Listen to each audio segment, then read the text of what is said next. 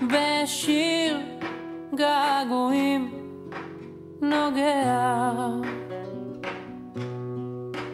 ושיר געגועים יודע אני עד היום, אני רוצה תמיד לראות את המעברה ול- ולהיזכר בימים האלה. היום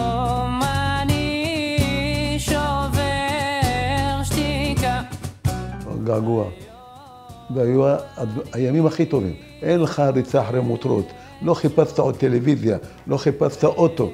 ידעת הכל פשוט, מה שהיה לך. אכלת, והדאגה תישאר למחר, בגלל האווירה שהייתה שם. החברות. האנשים שפרגנו אחד לשני. בשיר געגועים נוגע אני מתגעגעת לחיים הראשונים שהיינו בהם.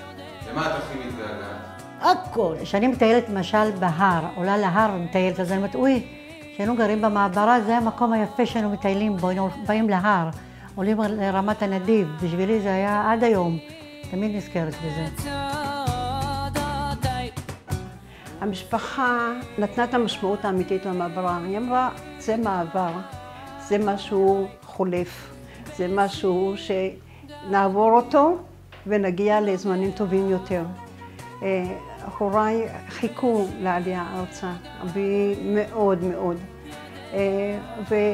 ולא הייתה, לא, היה, לא הייתה אווירה של דכדוך בבית. כשאומרים לי מעברה, אני נזכר במקלחות הציבוריות של יום, יום שישי שאנחנו כולנו מחכים עם המגבת מתחת לבית השחי והולכים אחרי האבא. והזמן הקצוב שנותנים לנו להתקלח כי לא היו מים חמים, הייתה בהקצבה. בערב, בקיץ, תראה, כולם ערימות ערימות, באים ומשחקים, וזה משחק גרמי, וזה משחק דומינו, ו...